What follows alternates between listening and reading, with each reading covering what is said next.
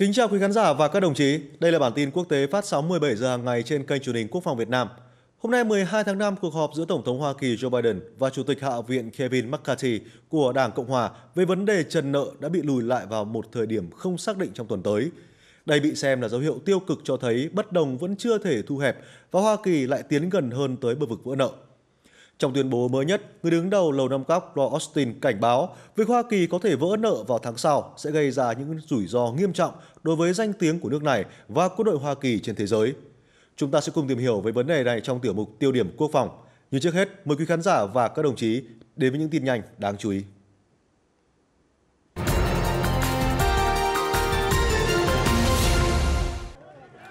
Những người ủng hộ cựu Thủ tướng Pakistan Imran Khan đã đổ ra đường ăn mừng vào hôm qua sau khi Tòa án tối cao của Pakistan ra phán quyết rằng việc bắt giữ chính trị gia này là bất hợp pháp. Phán quyết được đưa ra hai ngày sau khi ông bị giam giữ vì các cáo buộc hối lộ. Hàng trăm người biểu tình đã phong tỏa các đường cao tốc, các lối ra vào chính của tất cả các thành phố lớn, tấn công và đốt phá các tòa nhà chính, cảnh sát và các phương tiện công cộng, đồng thời xông vào các cơ sở quân đội. Bộ trưởng Tài chính Hoa Kỳ Janet Yellen và Bộ trưởng Tài chính Đức Christian Lindner đã tổ chức cuộc gặp song phương trong hôm nay để thảo luận về tình hình kinh tế trong khu vực cũng như khả năng hợp tác của hai quốc gia bên lề hội nghị thượng đỉnh tài chính G7 tại Nhật Bản. Các nhà lãnh đạo tài chính G7 bao gồm Hoa Kỳ, Nhật Bản, Đức, Anh, Pháp, Italia và Canada cùng với đại diện Liên minh châu Âu dự kiến sẽ thảo luận về một loạt vấn đề kinh tế thế giới cũng như tình hình ở Ukraine trong hội nghị thượng đỉnh đang diễn ra. Hạ viện Hoa Kỳ vừa phê chuẩn dự luật nhằm ngăn chặn người nhập cư bất hợp pháp vượt biên giới phía Tây Nam giáp với Mexico. Đây được xem là bước đầu tiên trong quá trình giải quyết vấn đề an ninh biên giới, cũng như cải cách đối với hệ thống tị nạn và cách thức cấp thị thực của Hoa Kỳ.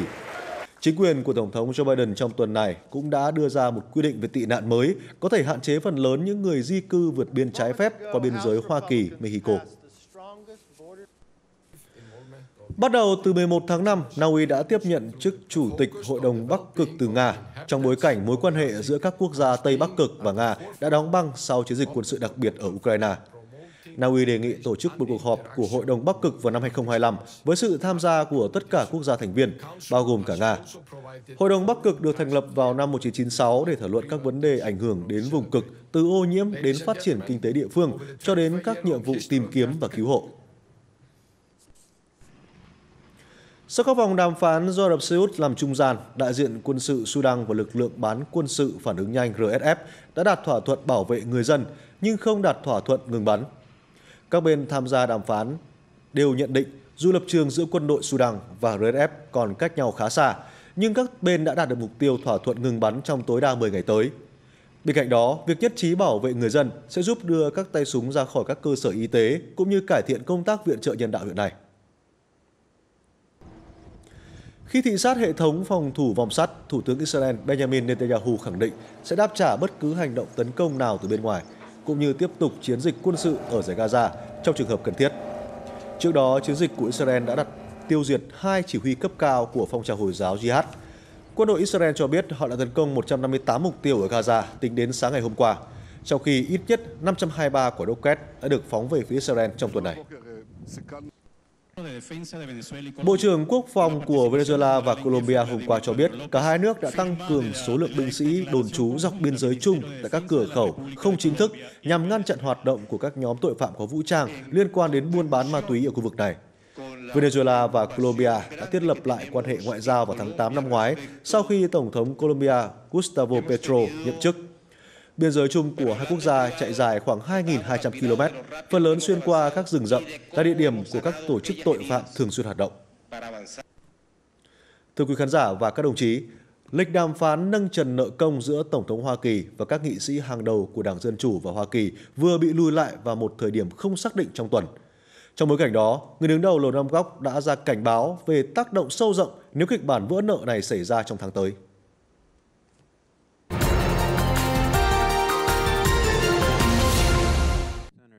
Theo Bộ trưởng Quốc phòng Hoa Kỳ, một kịch bản vỡ nợ sẽ gây ra những rủi ro nghiêm trọng đối với danh tiếng của Hoa Kỳ cũng như quân đội nước này trên thế giới. Vỡ nợ sẽ gây ra những rủi ro đáng kể cho danh tiếng của quân đội Hoa Kỳ. Hoa Kỳ được coi là một nguồn ổn định trên thế giới và chúng tôi luôn trả các khoản nợ của mình. Có một số vấn đề mà chúng tôi hợp tác với các đối tác và trong trường hợp vỡ nợ, câu hỏi sẽ đặt ra là liệu chúng tôi có thể tiếp tục công việc này hay không. Ông chủ Lầu Năm Góc cũng cảnh báo việc vỡ nợ sẽ ảnh hưởng trực tiếp đến khả năng hoạt động của quân đội Hoa Kỳ ở nước ngoài. Cảnh báo này được đưa ra trong bối cảnh lịch đàm phán nâng trần nợ công giữa Tổng thống Joe Biden và các nghị sĩ hàng đầu của Đảng Dân Chủ và Cộng Hòa dự kiến diễn ra trong hôm nay 12 tháng 5 đã bị hoãn lại sang một thời điểm chưa xác định vào tuần sau. Trước đó, các cuộc đàm phán kỹ thuật đã diễn ra khẩn trương trong hai ngày qua, trong đó tập trung vào việc hạn chế chi tiêu liên bang phía chính phủ thừa nhận rằng họ phải chấp nhận một số cắt giảm chi tiêu hoặc giới hạn nghiêm ngặt đối với chi tiêu trong tương lai nếu muốn đạt được một thỏa thuận với các nghị sĩ Đảng Cộng Hòa. Tuy nhiên, Chủ tịch Hạ viện McCarthy vẫn chưa hài lòng với những nhượng bộ này.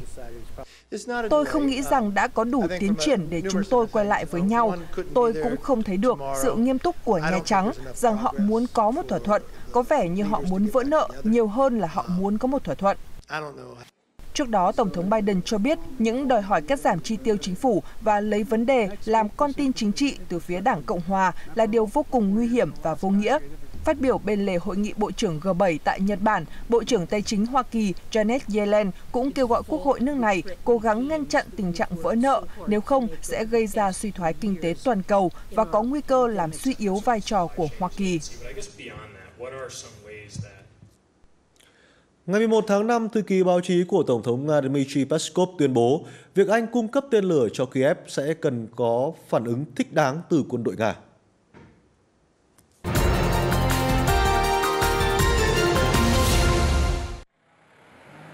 Trong tuyên bố mới nhất ngày 11 tháng 5, Bộ trưởng Quốc phòng Anh xác nhận cung cấp tên lửa Storm Shadow Scrap EG do Anh và Pháp hợp tác phát triển với vận tốc tối đa là 1.000 km/h, đánh trúng mục tiêu ở khoảng cách từ 250 đến 560 km tùy biến thể. Đây là mẫu tên lửa có tầm xa nhất trong các loại vũ khí phương Tây viện trợ cho Ukraine. Tôi có thể xác nhận Anh đang viện trợ tên lửa Storm Shadow cho Ukraine. Hệ thống vũ khí này sẽ giúp Ukraine có cơ hội tốt nhất nhằm tự vệ trước hoạt động của Nga. Các quan chức không nêu rõ số lượng tên lửa mà Anh chuyển cho Ukraine, nhưng khẳng định những tên lửa này đã có mặt trên chiến trường Ukraine. Trong khi đó, Điện Kremlin tuyên bố Nga có thái độ tiêu cực với động thái mới nhất của London. Điều này sẽ đòi hỏi một phản ứng thích đáng từ quân đội Nga, những người, dĩ nhiên, theo quan điểm quân sự, sẽ đưa ra quyết định phù hợp với bối cảnh này giới chức Nga tuyên bố đây là một quyết định hoàn toàn vô trách nhiệm, có khả năng gây thiệt hại ở quy mô không thể chấp nhận được. Giới quan sát quân sự tại Nga thì cho rằng quyết định của Anh sẽ không làm thay đổi tiến trình của các sự kiện, nhưng trong mọi trường hợp sẽ dẫn đến những hậu quả khó lường, đặc biệt là tăng số người thiệt mạng cho cả hai bên. Thông tin Anh chuyển tên lửa cho Ukraine được đưa ra trong bối cảnh Nam Phi vừa mở một cuộc điều tra độc lập sau khi đại sứ Hoa Kỳ Robin Brigetti cáo buộc Nam Phi cung cấp vũ khí cho Nga thông qua một con tàu cập cảng nước này vào năm ngoái. Trước đó, Tổng thống Cyril Ramaphosa không xác nhận hay phủ nhận vụ việc trong một phiên điều trần trước Quốc hội Nam Phi. Tuy nhiên, văn phòng Tổng thống bày tỏ sự thất vọng cho rằng cáo buộc trên làm suy yếu tinh thần hợp tác cũng như quan hệ giữa Hoa Kỳ và Nam Phi, Cơ quan này cũng khẳng định không có bằng chứng nào chứng minh cho cáo buộc này. Nam Phi duy trì lập trường trung lập trong cuộc xung đột ở Ukraine. Những động thái trên diễn ra trong bối cảnh tình trạng thiếu thốn đạn dược đang được nhắc đến ngày một nhiều trên chiến trường Ukraine. Trong một tuyên bố bất ngờ hôm 10 tháng 5, quan chức đối ngoại hàng đầu của EU, ông Joseph Borrell khẳng định có thể chấm dứt xung đột Ukraine chỉ trong vài ngày. Theo ông, nếu ngừng cung cấp viện trợ quân sự thì Kiev sẽ phải đầu hàng trong vài ngày và qua đó kết thúc xung đột quân sự. Thổ Nhĩ Kỳ sẽ tổ chức cuộc bầu cử mang tính bước ngoặt vào ngày 14 tháng 5, sau 20 năm đất nước này được Tổng thống Recep Tayyip Erdogan chầu lái. Có cuộc thăm dò trước bầu cử cho thấy cuộc đua giành phiếu bầu cử của cử tri giữa đương kim Tổng thống Erdogan và đối thủ cánh tả là Kemal Kılıçdaroğlu khá cân bằng.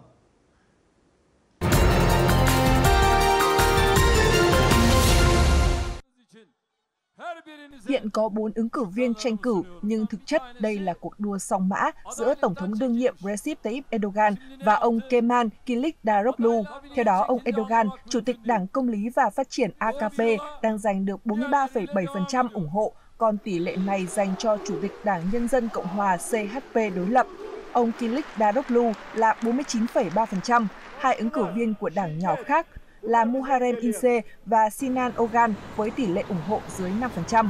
Tuy nhiên, trong diễn biến mới nhất hôm 11 tháng 5, ông Ince đã tuyên bố rút lui sau bê bối cá nhân. Vài giờ sau đó, ông Kilik Daroglu đã mời ông này tham gia liên minh đối lập và các cuộc thăm dò cho biết động thái này đang tạo lợi thế cho đối thủ của ông Erdogan thêm 5 điểm phần trăm, qua đó có thể đủ số phiếu tối thiểu để chiến thắng trong vòng đầu tiên, chứ không cần phải tranh cử vòng 2 vào ngày 28 tháng 5 tới. Giới quan sát nhận định động thái này có thể định hình lại những ngày cuối cùng của cuộc bầu cử được coi là phép thử lớn nhất của ông Erdogan trong triều đại kéo dài hai thập kỷ của ông. Theo đó, cam kết bầu cử của ông Kilik Daroglu chính là đảo ngược các chính sách kinh tế không chính thống của ông Erdogan. Cam kết này đang đánh trúng tâm lý của cử tri khi lạm phát tăng, tỷ lệ thất nghiệp cao và công tác khắc phục hậu quả của thảm họa động đất là những mối quan tâm chính của 64 triệu cử tri Thổ Nhĩ Kỳ đủ điều kiện bỏ phiếu bầu chọn nhà lãnh đạo mới của đất nước lần này. Giá các mặt hàng tiêu dùng cũng như giá nhà ở đã tăng vọt với tỷ lệ lạm phát lên tới 85% trong tháng 10 năm 2022. Con số này sau đó đã được kiểm soát tốt hơn nhưng vẫn ở mức trên 40%. Trong khi đó, mối quan tâm lớn nhất của cử tri là công tác khắc phục hậu quả của trận động đất kinh hoàng hồi tháng 2 năm 2023, cướp đi sinh mạng của hơn 50.000 người và khiến hàng triệu người mất nhà cửa. Thiệt hại kinh tế của thảm họa này ước tính lên đến 100 tỷ đô la Mỹ. Ngoài ra, các đảng đối lập của Thổ Nhĩ Kỳ đang cam kết loại bỏ mô hình tổng thống điều hành do ông Erdogan đưa ra vào năm 2018 vốn bị cho là đã đẩy nhanh quá trình làm sói mòn cơ chế kiểm tra và cân bằng do tập trung quyền lực trong tay Tổng thống. Theo giới quan sát, ông Erdogan cũng đang phải đối mặt với trở ngại từ nhóm cử tri có ảnh hưởng lớn của Đảng Dân Chủ Nhân dân HDP ủng hộ người quốc. Các cuộc thăm dò ý kiến cho thấy ông Erdogan không thu hút được các cử tri trẻ tuổi nên tỷ lệ cử tri đi bầu cao trong nhóm chủ chốt có thể sẽ thay đổi cục diện kết quả bầu cử. Tập đoàn Lunas ở Anh đã giúp biến các xe tải chạy dầu diesel cũ không sử dụng trở thành những chiếc xe điện đời mới, giúp giảm lượng khí thải, đóng góp cho công cuộc bảo vệ môi trường ở đây. Thông tin này sẽ kết thúc bản tin của chúng tôi ngày hôm nay. Cảm ơn quý khán giả và các đồng chí đã quan tâm theo dõi. Xin kính chào và hẹn gặp lại.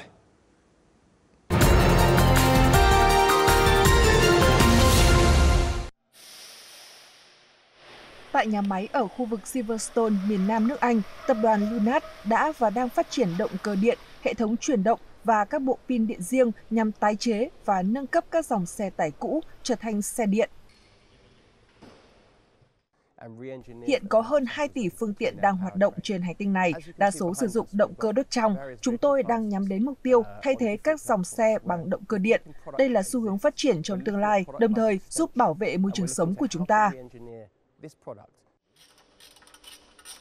Các xe tải sẽ được nâng cấp khi chúng kết thúc vòng đời hoạt động bình thường hoặc trước đó tùy theo đánh giá của các chuyên gia trong tập đoàn. Nhà máy của Lunat tuyển dụng hơn 300 người và sản xuất ra hơn 1.000 chiếc xe điện tái chế mỗi năm. Đồng thời, tập đoàn này đang có kế hoạch mở rộng thị trường khách hàng đến các đội xe công và xe chở rác và phát triển thêm các dòng sản phẩm mới phù hợp cho các dòng xe khác nhau.